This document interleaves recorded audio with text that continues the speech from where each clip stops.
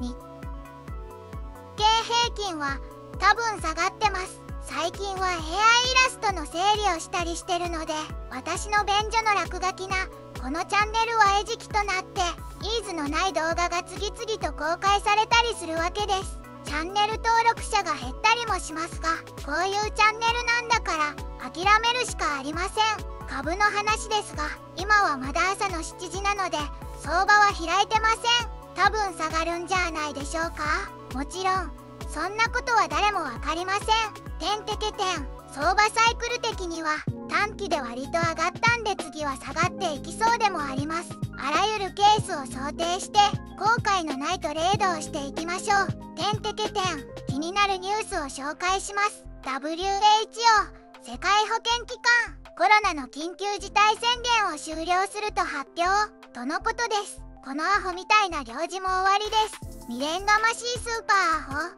何本人はまだマスクをしてうろちょろしてますね。こいつらやばすぎんか？と思いながらもまあ他人がマスクをする分には臭い息を嗅がなくて済むのでいいことなのかもしれません。私は心の病のせいかやたらと配達量が少ないのでマスクをしてると呼吸ができなくてしてると酸欠で死にそうになるんですよね。人それぞれの悩み事やコンプレックスがあったりするわけです。コロナという茶番劇で人は何を得て何を失ったのか人類にとっての大きなターニングポイントであったことは間違いない出来事でした。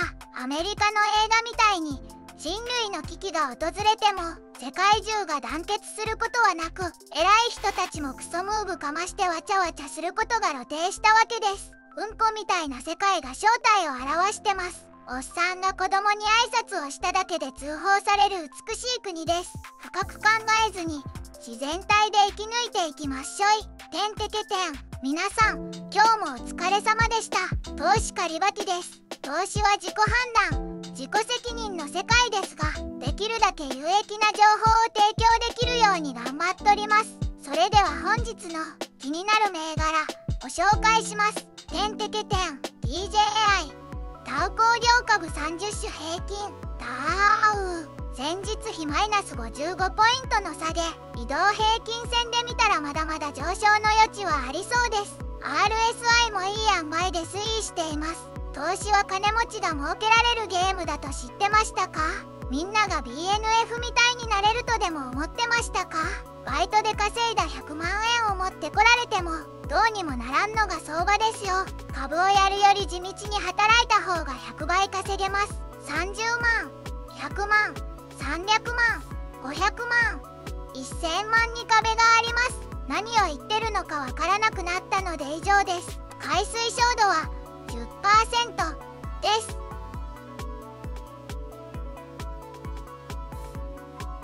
IXIC ナスダック総合指数 N ナスダーク私の見立てではナスダックは今後も上がっていくと思うわけですが先のことなんかは誰もわからないわけです。私もわからないことを真面目に考えても時間の無駄なんで適当なことを言ったり言わなかったりしとるわけです。眠くなってきたので今日はもう寝ます。海水照度は10%です。